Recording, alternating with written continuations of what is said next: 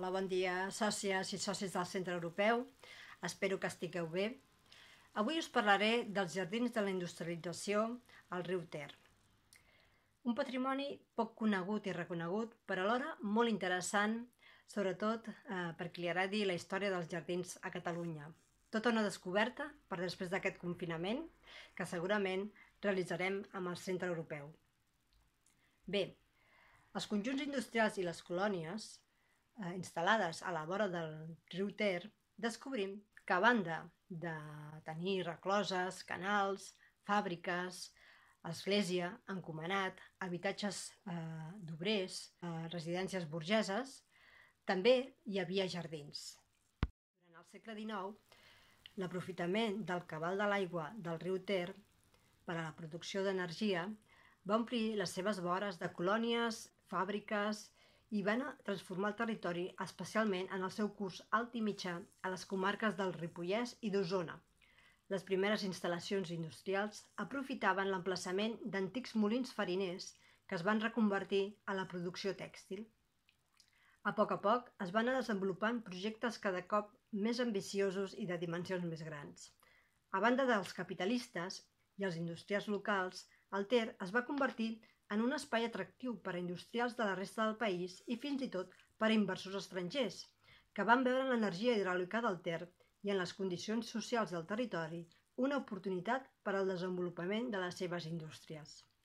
És el cas dels escocesos coats a Borgonyà, al terme de Sant Vicenç de Torelló, els suïssos Bavier a la Farga de Bavier, els termes de les Lloses, el Ripollès i Montesquiu, Osona, o els francesos Baurier a la colònia Salou, a Roda de Ter, també a Osona. El del riu va transformar el territori des de molts punts de vista, com també l'estructura social del territori també es va veure modificada. Apareix un nou urbanisme regeneracionista que des de mitjans del segle XIX incorpora de forma imparable el verd i els jardins com a eina de transformació i de progrés social, especialment al servei d'unes classes socials de base obrera i maltractades per les noves condicions de vida imposades, imposades per la industrialització. Els industrials busquen, a banda de l'energia que produeix el riu, unes condicions socials més favorables als seus projectes empresarials.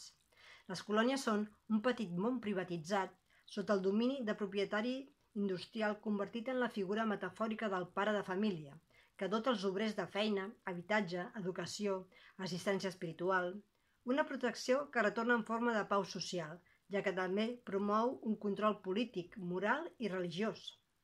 Els jardins són una eina al servei d'aquest projecte social. Per tant, si el propietari industrial vol aspirar a tenir treballadors o treballadores que acceptin l'ordre establert, ha de vetllar també per la qualitat de l'entorn, per una atmosfera sana, pura i confortable. Per què trobem tants jardins a les colònies industrials del Ter quan no tenen una, una finalitat econòmica evident i explícita?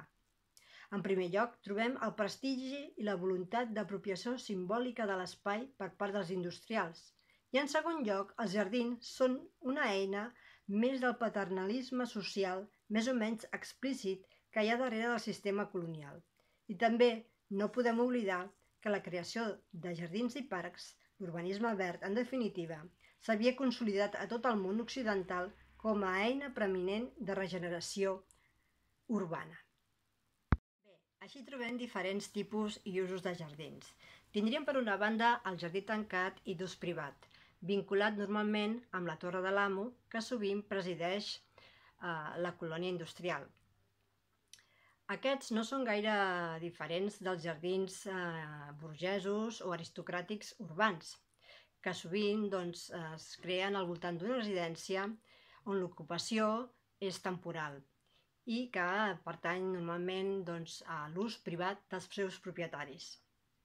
Exemples molt característics d'aquests jardins privats els trobem a la colònia Coromina de Torelló, amb el seu jardí de l'antiga casa de la Coromina i el jardí de la Torre Pericàs. També tindríem a la Farga de Bavier, de Bavier els jardins de la Torre Nova i la Torre Vella, i a Manlleu, a la colònia Rossinyol, els jardins de Can Faluga. També teníem els jardins oberts i d'ús públic. Són els jardins que han estat concebuts per a l'ús de tots els habitants de la colònia. L'exemple és el dels jardins de la colònia Invert, o també anomenat el Pelut.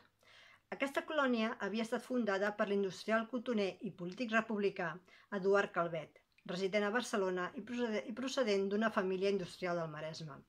Els Calvet no van construir-se cap residència a la colònia, però Calvet, mogut segurament per la seva vocació social, va imaginar uns grans jardins oberts a tots els habitants de la colònia. També tindríem la ciutat jardí. Són colònies on l'enjardinament conforma l'urbanisme de forma integrada i planificada.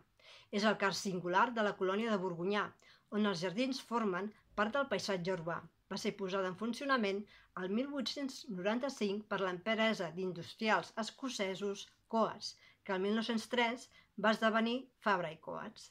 Durant tot el segle XX, a Borgunyà, els jardins van créixer a mesura que es desenvolupava la colònia. I també teníem les alineacions arbòries, les alberedes i els arbres singulars. En podem destacar els passeigs d'arbres alineats, coneguts en castellà com alamedes, fileres d'arbres que flanquegen un camí o una carretera, o que, com passa sovint, acompanyen un traçat d'un canal industrial. A banda de la funció estètica o simbòlica, aquestes composicions podien tenir una funció pràctica.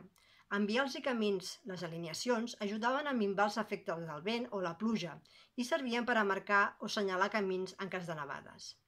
Entre els jardins del Ter podem destacar una inter interessant alineació de xiprers a la colònia de la Coromina, pràcticament desapareguda, avui però que encara és visible, que funcionava com a anexa d'unió entre el jardí de la Casa Coromina i el de la Torre Pericàs. Com a arbres monumentals podem esmentar la sequoia, Sequoiaderum gigantium, que està ubicada en el jardí de la Torre dels Almeda, a la colònia Vilaseca, o també les alzines centenàries del jardí del Pelut, o els cedres del jardí de la colònia Rossinyol, entre molts altres. I per últim, tindríem el que s'anomenaven les explotacions forestals, en alguns casos, les colònies del Ter es van acollir a la Llei de Colònies Agrícoles del 21 de novembre de 1855. Per això, no ens ha d'estranyar l'existència en els seus terrenys de grans extensions dedicades a plantacions forestals per a la seva explotació. Bé, espero que fins aquí doncs, us hagi encuriosit una miqueta aquests jardins industrials al, al riu Ter. Espero que ens, ens veiem força ben aviat i puguem visitar tots aquests espais. Vinga, cuideu-vos molt. Fins aviat.